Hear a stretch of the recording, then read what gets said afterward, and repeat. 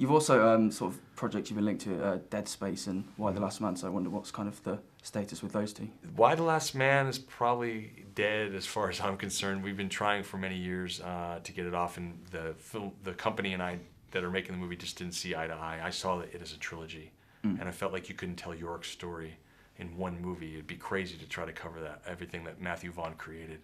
Uh, and so, and then Dead Space is a, is a script that we're going to get back to and try to lick, and we're kind of coming at it from a prequel uh, perspective because it's one of the greatest games of all time. It's the scariest game I've ever played in my life, and I want to be able to see if we can capture that element into a film. Mm. And sort of looking ahead, is Chris Pine now ready for Art of Making Money? Or Well, the problem with Chris Pine is he's so darn popular now that we have to figure out after Star Trek. Hopefully, maybe we after the after he finishes, I think he's doing Jack Ryan and then Star Trek, and so then Art of Making Money. Hopefully, he'll be ready. So I got to try to find something to do in between, or my wife's gonna kick me out of the house.